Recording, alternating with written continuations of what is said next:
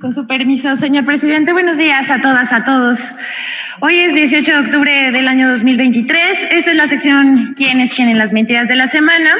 Y pues como ustedes se pudieron haber dado cuenta esta semana, el grueso informativo estuvo lleno de noticias sobre el Poder Judicial. Así que vamos a iniciar sobre que los medios defienden privilegios del Poder Judicial, por supuesto con falsedades y mentiras. Entre el 9 y el 16 de octubre se publicaron nada más y nada menos que 2.198 notas en medios de comunicación de radio, televisión, periódicos impresos y también portales digitales informativos sobre la cancelación de 13 fideicomisos del Poder Judicial y el supuesto recorte al presupuesto.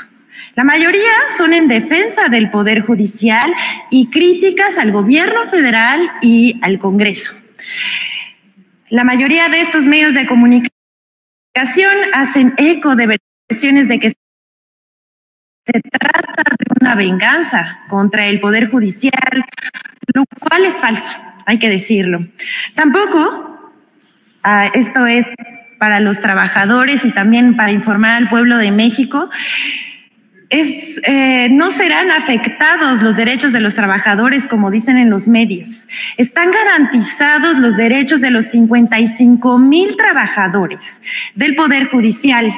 En cambio, hay que decir también que nadie habla de los privilegios de los magistrados de la Suprema Corte de Justicia de la Nación, de los tribunales, las salas y también hay que decirlo, de los jueces. Aquí vemos el grueso informativo sobre, sobre la última semana de lunes a lunes.